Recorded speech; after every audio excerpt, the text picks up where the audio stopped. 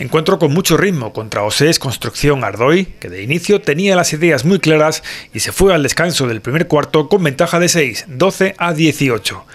A pesar de que el segundo cuarto comenzó con las navarras aumentando su ventaja a 9 puntos, las locales reaccionaron con 7 puntos consecutivos. Así, al descanso se llegaba con la contienda muy igualada, 29 a 28. En el comienzo del tercer cuarto, el equipo navarro estuvo más de 4 minutos sin anotar. Las locales lograron así darle la vuelta al marcador 38 a 35 en el minuto 25.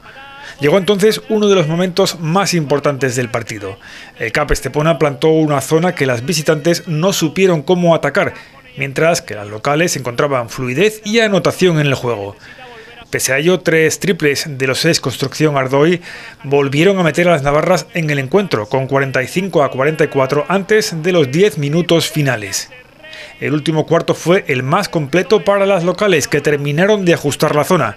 Se sumó la efectividad en ataque con la contundencia en defensa. El partido concluyó con un 72 a 52 para el CAP Estepona Jardín de la Costa del Sol.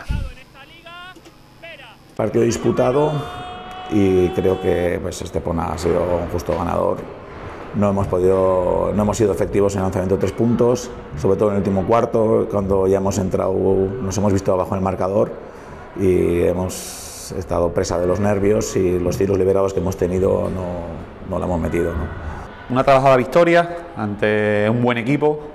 Eh, quizás la defensa en zona les ha costado atacarnos y hemos sacado una pequeña ventaja que hemos ido eh, llevando para la victoria final.